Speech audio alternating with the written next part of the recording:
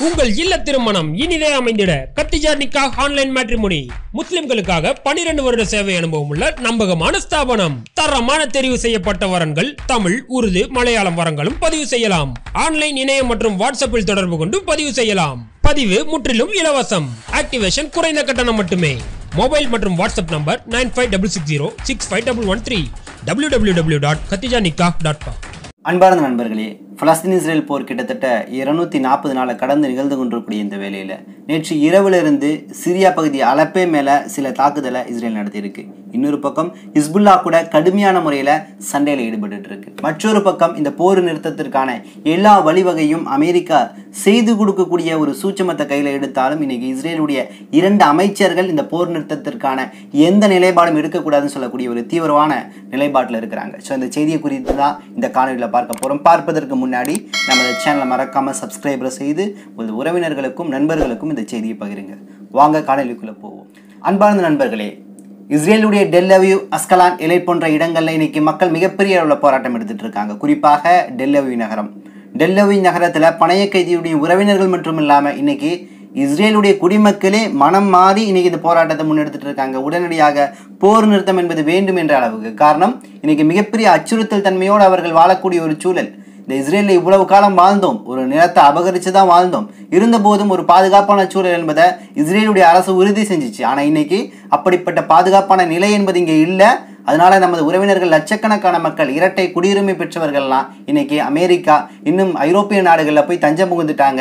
இருக்கக்கூடிய நாம் இந்த நிலத்தை விட்டு வெளியேறக்கூடிய சூழலில் இருக்கிறோம். ஸோ இந்த நிலையில் இந்த போர் நிறுத்தம் என்பது நிச்சயமாக வேண்டும் அப்படின்னு சொல்லிட்டு அமெரிக்கா முன்மொழிந்த அதாவது அமெரிக்காவுடைய தலைவர் ஜோ பைடன் முன்மொழிந்த அந்த ஆறு கட்டங்களாக நடத்தக்கூடிய அந்த போர் நிறுத்தம் பணைய கைதிகள் பரிமாற்றம் அந்த விஷயத்தை உடனடியாக இஸ்ரேலுடைய அமைச்சர் அமைச்சரவை போர் அமைச்சரவை ஒத்துக்கணும் ஏற்றுக்கொள்ளணும் அப்படின்னு சொல்லிட்டு இன்னைக்கு லட்சக்கணக்கான மக்கள் டெல்லவியில் அர இஸ்ரேலுக்கு அரசுக்கு எதிராக இன்றைக்கி போராட்டத்தை முன்னெடுத்துட்டு இருக்காங்க. ஸோ அப்போ இது எந்த நிலையில் போய் இன்னைக்கு நிற்குது அப்படின்னு நம்ம கூர்மையாக பார்த்தோம்னா இஸ்ரேலுடைய அரசாங்கம் இஸ்ரேலுடைய ஐஓஎஃப் ஐடிஎஃப் ராணுவ அமைப்பு கேலண்ட் ஆகட்டும் இன்னும் பல்வேறு நபர்களுடைய தலையீடுகள் இதெல்லாம் தாண்டி இரட்டை நபர்கள் செய்யக்கூடிய மிகப்பெரிய அட்டுழியம் தான் இந்த போரை இன்னும் நீட்டிக்க வேண்டும் என்ற ஒரு நிலைப்பாட்டை நோக்கி நெத்தனியாக புஷ் பண்ணிகிட்டே இருக்கு. அது யாருன்னு கேட்டிங்கன்னா இரண்டு நபர்கள். ஒரு நபர் பார்த்தீங்கன்னா ஸ்மோரிச் என்று சொல்லக்கூடிய அமைச்சர் மற்றொரு நபர் உங்களுக்கு நல்லா தெரியும் பென்னிக்யூர் என்று சொல்லக்கூடிய பாதுகாப்பு அமைச்சர் தீவிரவாதி. ஒன்றாம் நம்பர் தீவிரவாதி.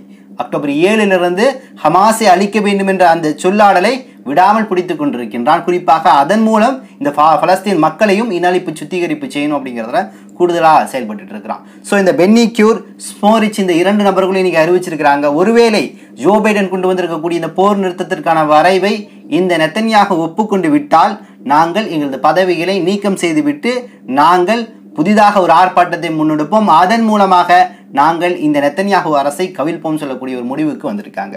ஸோ இன்னைக்கு பென்னி குயர் ஆகட்டும் இந்த ஸ்மோரிச் இந்த இரண்டு பேர் எப்படி நிற்கிறாங்கன்னா இந்த போர் நிறுத்தம் என்பது இருக்கக்கூடாது ஹமாஸை அழிக்கும் வரை. ஹமாஸ் என்ற அமைப்பு இங்கே இல்லை. ஹமாஸோடைய அச்சுறுத்தல்கள் இங்கே இல்லை. அப்படிங்கிற ஒரு நிலை உருவாகும் வரை நிச்சயமாக நாம் தொடர்ந்து போர் செய்து கொண்டே இருக்க வேண்டும். இந்த போர் என்பது எட்டு மாதம் எட்டு மாதம் நீடிச்சு போனாலும் பரவாயில்ல இல்லை பல ஆண்டுகள் ஆனாலும் போ பரவாயில்லைங்கிற ஒரு நிலைப்பாட்டை நோக்கி இன்னைக்கு இந்த இரண்டு அமைச்சர்கள் போனனால இன்னைக்கு இந்த மக்கள் எல்லாமே கொண்டு அப்படியே வெகுண்டு எழுந்திருக்கிறாங்க யூத மக்களே. இந்த போர் நிறுத்தம் என்பது நிச்சயமாக வேணும். பணைய கைதிகள் ஒரு நாலு நாலொன்றுக்கு நாலு நபர் ஐந்து நபர் இறந்துட்டே இருக்கிறான். பணைய கைதிகளை நீங்கள் மீட்கிற மாதிரி தெரியல அப்படின்னு சொல்லிட்டு இன்னைக்கு அந்த மக்கள்லாம் களத்தில் இறங்கி போராடிட்டு இருக்கிறாங்க. அப்போ நிச்சயமாக இஸ்ரேல் ஒரு முடிவோடு தான் செயல்பட்டு இருக்குது அப்படிங்கிற ஒரு விஷயத்தை அழுத்தம் திருத்தமாக நம்மளால் பார்க்க முடியுது. மறுபக்கம் இன்னைக்கு மாலத்தீவு. கேள்விப்பட்டிருப்பீங்க. மாலத்தீவு இன்றைக்கி ஒரு தரமான சம்பவத்தை செஞ்சுருக்கு. மாலத்தீவுனாலே உங்களுக்கு சில விஷயங்கள் ஞாபகம் வரும். இரண்டு மாதத்துக்கு முன்னாடி மாலத்தீவா லட்சத்தீவா எதுக்கு நம்ம அதிகமாக விசிட் பண்ணணும்? மோடி அவர்கள் லட்சத்தீவுக்கு போனதுனால இனி நம்ம லட்சத்தீவு தான் விசிட் பண்ணணும். காரணம் ஏன்? மாலத்தீவில் புதுசாக அதிபராக வந்த தலைவராக வந்த முகமது முயிசு எடுத்த முடிவு. மாலத்தீவுக்குள்ளே இந்தியாவுடைய ராணுவம் இருக்கக்கூடாதுன்னு கட்டன் ரைட்டாக முடிவு எடுத்தார். மேலும் சீனாவோட டையப் வச்சார் ரஷ்யாவோட உறவுல இருந்தார். உடனடியாக இந்த ராணுவத்தை வெளியேற சொன்னனால இன்னைக்கு இந்திய மக்கள் இருக்கக்கூடிய சில சங்கிகள் என்ன பண்ணாங்கன்னு கேட்டிங்கன்னா உடனடியாக நம்ம மாலத்தீவு வந்து பாய்காட் பண்ணணும். மாலத்தீவுக்கான வருமானத்தை நம்ம கட் பண்ணணும். நம்ம வந்து டூரிசமாக இனி போகக்கூடாதுன்னு சொல்லிட்டு லட்சத்தீவு சாய்ஸ் பண்ணக்கூடிய இடத்துக்கு போனாங்க. அதற்கு முன்னுதாரணமாக நமது மோடிஜி அவர்கள் அங்கே போய் ஃபோட்டோ ஷூட்லாம் எடுத்து அதை ஃபேமஸாக்க முயற்சி பண்ணினார். ஸோ எந்த இடமாக இருந்தாலும் மக்கள் பிடிச்சாதான் போவாங்க அப்படிங்கிறது ரெண்டாவது. இன்னும் அரசியல் ரீதியாக முடிவெல்லாம் மக்கள் எடுக்க மாட்டாங்க. ஸோ இந்த நிலையில் தான் முகமது மு முயசி ஆட்சிக்கு வந்த பின்னாடி பல சர்ச்சைகள் இது போன்று நடைபெற்று கொண்டே இருந்துச்சு. சீனா கூட டையப் வச்சனால சீனா ஒரு வாக்குறுதி கொடுத்துச்சு. எங்கள் நாட்டில் இருக்கக்கூடிய பல லட்சம் மக்கள் ஆண்டுக்கு இவ்வளோ விகிதம் வந்து நாங்கள் டூரிசமாக அனுப்புகிறோம் நீங்கள் அவங்கள வெல்கம் பண்ணி அவங்களுக்கான ஒரு ஃபெசிலிட்டிஸை பண்ணி கொடுங்கன்னு சொல்லிட்டு சீனா அங்கீகரிச்சிச்சு. ஸோ இந்த அளவு என்னாச்சு? சீனாவை ஆதரித்து அமெரிக்கா இஸ்ரேல் எதிர்க்கக்கூடிய இடத்துக்கு இந்த மால மாலத்தீவு போச்சு. ஸோ மாலத்துடைய முக தலைவர் முகமது முயிசு ஒரு அறி அறிவிப்பு செஞ்சார் அக்டோபர் ஏழுக்கு அப்புறம். இஸ்ரேலை நாங்கள் வந்து வன்மையாக கண்டிக்கின்றோம். இஸ்ரேல் மேலே நாங்களும் வழக்கு தொடுக்கின்றோம் சொல்லிட்டு இஸ்ரேலுக்கான மிகப்பெரிய தடை வைச்சார் இன்னைக்கு அதிகாரப்பூர்வமாக சட்டமாகவே இன்னைக்கு என்ன கொண்டு வரக்கூடிய ஒரு சூழல்ல இருக்காருன்னா இனிமேல் இஸ்ரேலை இஸ்ரேல் நாட்டை சார்ந்த எந்த குடிமக்களும் இந்த மாலத்தீவுக்குள்ள நுழையக்கூடாது. பாஸ்போர்ட் வச்சிருந்தா நிச்சயமாக அவர்கள் இந்த மாலத்தீவுக்குள்ள நுழையவே கூடாதுன்னு சொல்லக்கூடிய அதிரடியான அறிவிப்பை இன்னைக்கு முகமது முகமது முயசு எடுத்திருக்காரு. இது சம்பந்தமான சர்ச்சைகள் போய் கொண்டிருக்கக்கூடிய வேலையில இஸ்ரேல் நாடு இஸ்ரேலுடைய வெளி வெளியுறவுத்துறை அமைச்சகம் இன்னைக்கு என்ன சொல்லுதுன்னா உடனடியாக மாலத்தீவில் இருக்கக்கூடிய யூத மக்கள் எல்லாமே திரும்பி இஸ்ரேலுக்கே வாங்க. இஸ்ரேல்லே அங்கே வாழ முடியுமாங்கிற ஒரு சூழலில் மக்கள் வாழ்ந்துட்டு இருக்கிறாங்க. ஆனால் இன்னைக்கு இஸ்ரேலுடைய தலைவர் நெத்தன்யாக உட்பட அந்த அமைச்ச அமைச்சரவை என்ன சொல்லுது? இன்னைக்கு மாலத்தீவில் வந்து நீங்களே வெக்கேட் பண்ணி வந்திருங்க ஸோ அப்போ இன்னைக்கு மாலத்தீவுடைய இந்த வருகை என்ன அப்படின்னு நம்ம பார்க்கணும். இஸ்ரேலுடைய அதாவது யூதர்களுடைய வருகை என்னன்னு. ஆண்டுக்கு பதினைந்தாயிரம் டூரிஸ்ட்டுகள் அதாவது இது போன்ற சுற்றுலா பயணிகள் எல்லாமே மாலத்தீவுக்கு வர்றாங்க. மாலத்தீவு பார்த்தீங்கன்னா இந்திய பெருங்கடலில் இருக்கக்கூடிய ஒரு சின்ன நாடு தான் முஸ்லீம்கள் அதிகமாக வாழக்கூடிய நாடு. கிட்டத்தட்ட ஐந்து லட்சம் மக்கள் ரொம்ப மக்கள் தொகை கம்மி. ஐந்து லட்சம் மக்கள் மட்டுமே வாழக்கூடிய ஒரு பூமி. ஸோ இந்த இடம் என்பது உலகத்தில் மிகப்பெரிய ஒரு சுற்றுலா தலமாக இன்னைக்கு காணப்படுவதனால தான் உலகத்தில் கடைக்கோடியில் இருக்கக்கூடிய பல்வேறு நாடுகளில் இருக்கக்கூடிய சுற்றுலா பயணிகள் கூட மாலத்தீவுக்கு வர்றாங்க. அந்த அடிப்படையில் தான் அதிகமாக தனக்கு வந்து இவங்களுக்கு தெரியும் ஃபாரினர்ஸ்லாம் என்ன பண்ணுவாங்கன்னா பதினோரு மாதம் உழைப்பாங்க ஒரு மாதம் சுற்றுலா போவாங்க. இது ஒரு ரூலாகவே இருக்கும் அவங்கள்ட்ட பதினோரு மாதம் உழைப்பாங்க ஒரு மாதம் எல்லாத்தையும் மறந்துட்டு பேக் கட்டிட்டு ட்ரக்கின் மாதிரி கிளம்பிடுவாங்க அப்படியே நாடு நாடு நாடு நாடா. ஸோ இன்றைக்கி இந்த யூடியூப் பிளாட்ஃபார்ம் வந்த பின்னாடி அதை விட கூடுதலாக இரண்டு மாதம் மூணு மாதம் சொல்லிட்டு பிளாக் பண்ணுவதற்காக கூட பல நபர்கள் போகிறாங்க ஸோ அப்படி அதிகமாக வரக்கூடியவர்கள் அமெரிக்கர்களுக்கு அடுத்து பார்த்தீங்கன்னா இந்த யூதர்கள் இஸ்ரேலில் இருக்கக்கூடிய யூதர்கள் இந்த மாலத்தீவுக்கு விசிட் பண்ணுவாங்க. ஸோ இன்றைக்கி மாலத்தீவுக்குள்ள யூதர்கள் நுழையக்கூடாதுன்னு சொல்லக்கூடிய சொல்லப்போனால் உலகத்திலே முதல் நாடாக நாட்டுக்குள்ளே நுழையக்கூடாதுன்னு சொல்லக்கூடிய ஒரு தடை இன்னைக்கு மாலத்தீவு கொடுத்துருக்கு அப்படிங்கிற பட்சத்தில் இன்னைக்கு நிச்சயமாக வரவேற்கத்தக்க ஒரு செயலாக காணப்படுது. இந்த நிலைப்பாடை ஒவ்வொரு நாடுகளும் எடுக்கக்கூடிய பட்சத்தில் இஸ்ரேலுக்கு இது ஒரு அழுத்தமாக மாறும் அப்படிங்கிற ஒரு விஷயத்தை பார்க்க முடியுது. அடுத்து இன்னைக்கு நெத்தன்யாகு அரசுக்கு இந்த நெத்தன்யாகு கேலண்ட்டுக்கு பிடிவாரண்ட் என்பது ஐசிசி கொடுத்துச்சு. அதே மாதிரி இந்த இஸ்ரேலுடைய அரசுக்கு எதிராக சர்வதேச குழு நீதிமன்றம் இருக்கல ஐசிஜி சர்வதேச இன்டர்நேஷனல் கோர்ட் ஆஃப் ஜஸ்டிஸ் இதில் தென்னாப்பிரிக்கா தொடுத்த வழக்கில் பல நாடுகள் இணைந்து கொண்டிருக்கக்கூடிய வேலையில் சமீப சிலி என்று சொல்லக்கூடிய ஒரு நாடும் தங்களை இணைத்துக் கொள்கின்றோம் என்ற முடிவுக்கு வந்திருக்காங்க. மெக்சிகோவும் தங்களை இணைத்துக் கொள்கின்றோம் என்ற முடிவுக்கு வந்திருக்காங்க. ஸோ மெக்சிகோன்னு சொன்ன பின்னாடி எனக்கு இன்னைக்கு ஒரு செய்தி நினைவுக்கு வருது. மெக்சிகோவில் இருக்கக்கூடிய ஒரு அன்பு சகோதரி யூத பெண் சொல்லப்போனால் ஒரிஜினல் யூதர்னு சொல்லலாம். ஆர்க என்ன சொல்ல ஆர்ஜினாக வரக்கூடிய யூத பெண்ணாக இருக்கக்கூடிய ஒரு பெண் இன்றைக்கி மெக்சிகோவில் வந்து ஒரு பதவிக்கு அதிபர் பதவிக்கு வந்திருக்காங்க அப்படிங்கிற ஒரு செய்தி வந்திருக்கு. இந்த பெண்ணுடைய பேர் பார்த்திங்கன்னா கிளா கிளாட்டியா. கிளாட்டி என்று சொல்லக்கூடிய யூத பரம்பரையை சார்ந்த இந்த பெண் இன்னைக்கு வந்து மெக்சிகோட முதல் ஜனாதிபதியாக வந்திருக்கிறாங்க அப்படிங்கிற ஒரு மகிழ்ச்சியான செய்தி கிடைச்சிருக்கு. இந்த அடிப்படையில் இவர் இவர்கள் ஒவ்வொரு முறையும் இந்த இஸ்ரேலுடைய இனப்படுகொலை கண்டிச்சுட்டே வந்திருக்கிறாங்க. கண்டிச்சது இல்லாமல் சொல்லியிருக்கிறாங்க. நான் யூதன் கிடையாது யூத சமூகத்தை சார்ந்தவன் கிடையாதுங்கிறத விட இந்த யூத ஜியோனிச சிந்தனை கொண்ட தீவிரவாதிகள் கிடையாது நான். நான் யூத சமூகம் ஆனால் ஜியோனிச சிந்தனை கொண்டவ கிடையாது அப்படின்னு சொல்லிட்டு இஸ்ரேலுக்கு எதிராக பல முறை இந்த யூத சக்திகளுக்கு ஜியோனிச சக்திகளுக்கு எதிராக பல முறை குரல் கொடுத்தவர்கள் தான் இந்த கிளாடியா என்று சொல்லக்கூடிய சகோதரி இந்த சகோதரிக்கு வாழ்த்துக்களும் பாராட்டுகளும். நிச்சயமாக இவர்கள் மெக்சிகோவில் இந்த பதவியில் முதல் முறையாக ஒரு பெண்ணா யூத பெண்ணா வந்தது என்பது நிச்சயமாக மகிழ்ச்சி. ஏன்னா யூதர்கள் என்று சொல்லக்கூடிய சமயத்தில் நம்ம பிரித்து பார்க்க கடமைப்பட்டு இருக்கின்றோம் யூத ரப்பிகள்ல நல்ல ரப்பிகள் இருக்காங்க. யூத மக்கள்லேயே நல்ல மக்கள் இருக்கிறாங்க. இன்னைக்கு பாருங்களே பலஸ்தீன் போராட்டத்தில் அதிகமான முறையில் தங்களது பங்களிப்பை செலுத்திக் கொண்டிருக்கக்கூடியவர்கள் யாருன்னு கேட்டால் இந்த யூதர்கள். உலகம் முழுக்க பாருங்க யூத ரப்பிகள் யூத பிள்ளைகள் யூத பெண்கள் சகோதரிகள் சொல்லிட்டு பலஸ்தீனுக்கு ஆதரவாக வந்து இன்னைக்கு மிகப்பெரிய அளவில் வந்து போராட்டங்கள் எடுத்துக்கொண்டிருக்கக்கூடியவர்கள் யூத மக்களாகவே காணப்படுறார்கள். ஸோ யூதர்கள் வேற ஜியோனிஸ்ட சிந்தனை கொண்டவர்கள் வேற. இங்கே எப்படி இந்து வேற இந்துத்துவா வேறன்னு பிரித்து பேசுகிறோம் அதே மாதிரி யூதர்கள் வேற ஜியோனிச தீவிரவாத சிந்தனை கொண்டவர்கள் வேறன்னு சொல்லிட்டு தான் பிரித்து பார்க்க நம்ம கடமைப்பட்டிருக்கின்றோம். அடுத்து சமீபத்திய செய்தி. நேற்று இரவுல இருந்து மிகப்பெரிய ஒரு தாக்குதலை சிரியாவில் இருக்கக்கூடிய அலப்பே என்ற இடத்துல இஸ்ரேல் நடத்தியிருக்கு. இஸ்ரேல் நடத்தின ஏர் ஸ்ட்ரைக்கில் பனிரெண்டு நபர்கள் இன்னால் இல்லாஹி வைனா இளையராஜன் சகிதா இருக்காங்க.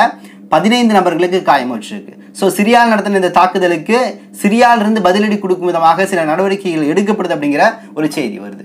மறுபக்கம் பல மாதங்களாக ஹிஸ்புல்லா கூட நாங்கள் போர் செய்தே செய்ய தீர்வோம் சொல்லிட்டு இஸ்ரேல் லெபனான் மற்றும் இந்த இஸ்ரேலுடைய எல்லையில் காத்துட்டே இருந்துச்சு. அந்த நிலைப்பாட்டுடைய சில விஷயங்கள் நடக்க ஆரம்பிச்சிருச்சு.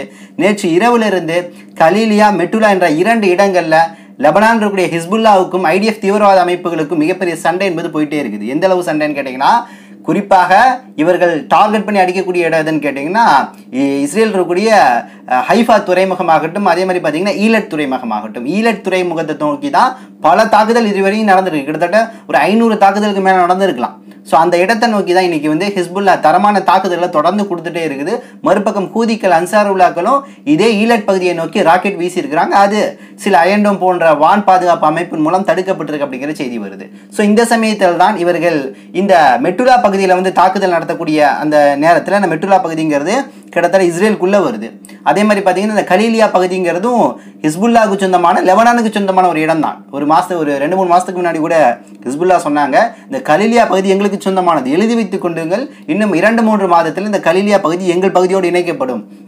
நீங்கள் சொல்லக்கூடிய அந்த லிட்டானி ரிவர் லிட்டானி ஏரியை தாண்டி நாங்கள் போகணும்னு நீங்கள் நினைக்கிறீங்க? இல்லை இல்லை. லிட்டானி ரிவருக்கு முன்னாடி வந்து கலிலியாவையும் கைப்பற்றி நாங்கள் நிச்சயமாக ஆட்சி பிடிப்போம். ஒரு அதிகாரத்தை கொண்டு வரோம்னு சொல்லிட்டு ஹிஸ்புல்லா தரப்புலேருந்து சொல்லப்பட்டுருந்துச்சு சொல்லப்பட்டிருந்துச்சு. ஸோ இன்றைக்கி கலிலியாவில் தான் மிகப்பெரிய சண்டை என்பது ஹிஸ்புல்லாவுக்கும் இந்த இஸ்ரேலுடைய ஐடிஎஃப்க்கும் நடந்துட்டு இருக்கு அடுத்து இந்த கலீலியா சண்டைக்கு அடுத்து இருக்கக்கூடிய பகுதியாக இருக்கக்கூடிய இந்த மெட்டுலா பகுதி என்பது இஸ்ரேலுக்குள்ளே வருது. ஸோ மெட்டு மெட்டுலா பகுதியுடைய மேயர் என்ன சொல்கிறாருன்னா இந்த பகுதியில் மிகப்பெரிய சேதாரம் நடந்துட்டு இருக்குது இந்த இடத்துல விவசாயம் போச்சு சுற்றுலா போச்சு வாழ்வாதாரம் எல்லாமே போச்சு. கிட்டத்தட்ட நூற்றி எழுபது குடியிருப்புகள் என்பது எரிக்கப்பட்டிருக்குது. அதே மாதிரி நஹாரியா என்று சொல்லக்கூடிய ஒரு மிகப்பெரிய நிறுவனம் எரிக்கப்பட்டிருக்குது ஒரு இடம் எரிக்கப்பட்டிருக்குது. ஹைஃபா துறைமுகத்தில் மிகப்பெரிய தாக்குதல் நடந்துட்டு இருக்குன்னு சொல்லக்கூடிய செய்திகளை தொடர்ந்து அந்த மெட்ருலா பகுதியுடைய மேயர் கொடுத்துட்டு இருக்கிறார் அப்போ மெட்ருலா பகுதி மேயர் என்ன சொல்றாருன்னா இந்த தாக்குதல் என்பது நிறுத்தப்பட வேண்டும் இல்லாவிட்டால் நமது நிலத்தை முழுமையாக இழந்து நாம் மீண்டும் அகதிகளாக மாற்றப்படுவோம் என்ற ஒரு எச்சரிக்கையை கூட இன்னைக்கு ஐடிஎஃப்க்கு இந்த மெட்லாவை சார்ந்த மே மேயர் கொடுத்துருக்கிறாரு. அதே மாதிரி பார்த்தீங்கன்னா இந்த ஹைஃபா துறைமுகம் இருக்குல்ல இதில் வந்து இந்தியாவுடைய அம்பா அதானியுடைய பங்கு என்பது அங்கே அதிகமாக இருக்கு உங்களுக்கு தெரியும். அதே மாதிரி இதே இடத்துல இந்த அம்ப அம்பானி சொன்ன அதானி சொன்ன நினைவு கூறுது அதானி நிறுவனத்துடைய தயாரிப்பாக இருக்கக்கூடிய ஹர்மஸ் நைன் ஹண்ட்ரட் என்று சொல்லக்கூடிய ஆளில்லா ட்ரோன் கில்லர் ட்ரோனை வந்து இன்னைக்கு ஹிஸ்புல்லா வானில் வச்சு வெடிக்க வச்சு செதற வச்சிருக்கு அப்படிங்கிற செய்தியும் வருது. ஸோ ஹிஸ்புல்லா விஸ் ஈரா இஸ்ரேல் என்று சொல்லக்கூடிய அளவுக்கான போர் என்பது இன்றைய அதாவது நேற்று இரவுல இருந்து இன்றைய தேதி வரைக்கும் உச்சகட்டத்தில் போயிட்டு இருக்கு அப்படிங்கிற விஷயத்த நம்மளால பார்க்க முடியுது. மறுபக்கம் இன்னைக்கு நான் நேற்று சூடானை பற்றி சொன்னேன்.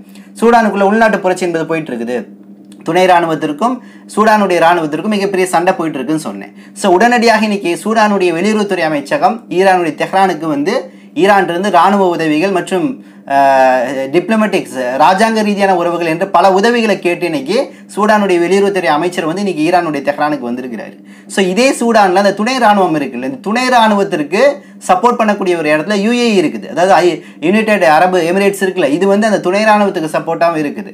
ஸோ இன்னைக்கு அரசாங்க ராணுவத்திற்கும் துணை ராணுவத்துக்கும் ஏற்பட்ட சண்டையில் கிட்டத்தட்ட இதுவரையும் ஆயிரத்துக்கும் மேற்பட்ட நபர்கள் சூடானில் கொல்லப்பட்டிருக்கிறார்கள். கடந்த ஏப்ரல் மாதத்தில் ஆரம்பிச்ச போர் என்பது இன்னைக்கும் போயிட்டு இருக்குது. அப்போ இந்த சூடானுடைய போர் குறித்து பெரிய அளவில் யாரும் பேசுறது இல்லை சூடான் என்பது தெரியும் உங்களுக்கு ஆப்பிரிக்க கண்டத்தில் இருக்கக்கூடிய ஒரு சிறிய நாடு.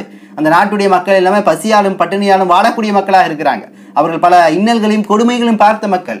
ஸோ அந்த சூடான் மக்களுக்காக குரல் கொடுக்க இன்னைக்கு யாரும் இல்லை பெரிய அளவில் பேசல அப்படிங்கும்போது நிச்சயமாக உள்ளளவு என்பது வருத்தம் அளிக்கிறது நம்மளால் பார்க்க முடியுது. மறுபக்கம் ரஷ்யாவுடைய நண்பனாக இன்னைக்கு சவுதி ஒரு ஸ்டெப் முன்னோக்கி போயிருக்கு நம்மளால் பார்க்க முடியுது.